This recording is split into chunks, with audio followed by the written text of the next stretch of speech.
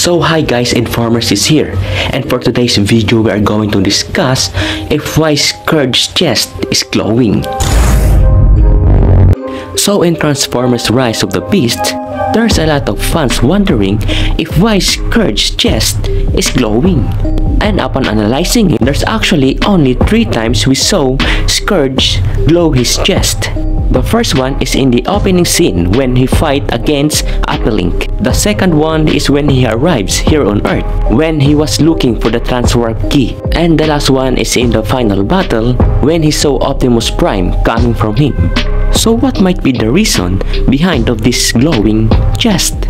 So let me share to you my theory about this one. So this glowing chest is the indication of a presence of Unicron. It means to say that if Unicron aura is near, Scourge's chest will glow as the indication. That's why in these three scenes, when Scourge's chest was glowing, you will notice that he is near or from Unicron.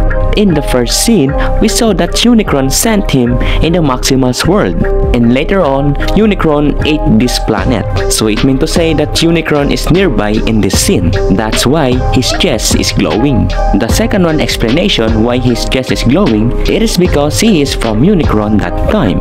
In his chest immediately gone, it is because Unicron is already so far away. That's why his presence and aura is gone. And the third one explanation why his chest glows it is because Scourge opened the portal to Unicron and after he opened that portal his chest immediately glows indicates that Unicron is coming to that portal and he is already nearby. So that's it. The reason of Scourge glowing chest is because of Unicron presence and aura. So thank you guys. I hope I'm able to answer your question.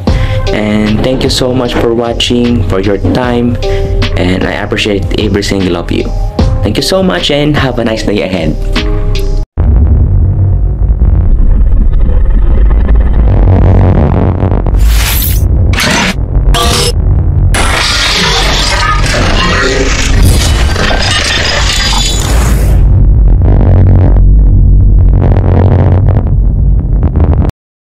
Transformers.